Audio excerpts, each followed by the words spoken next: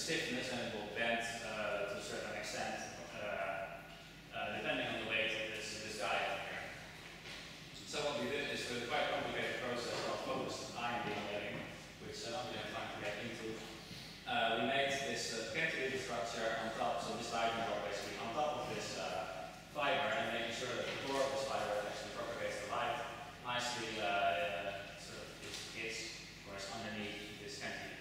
here you can see uh, in the electromagnetic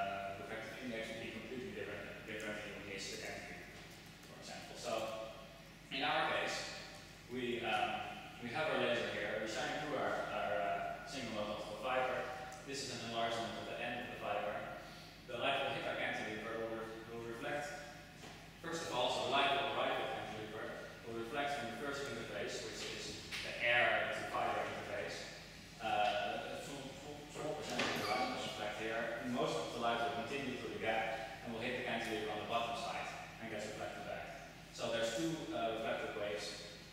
going back there, and in the end, it's collected by uh, a photodiode.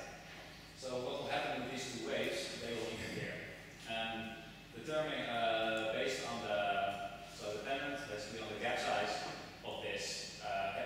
of this, so this, the distance between the fiber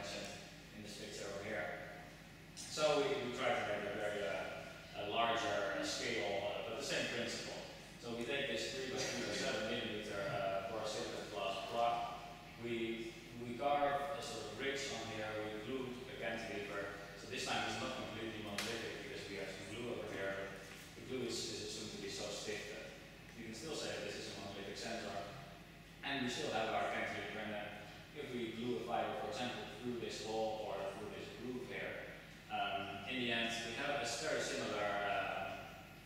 very similar probe, basically, very similar sensors. We have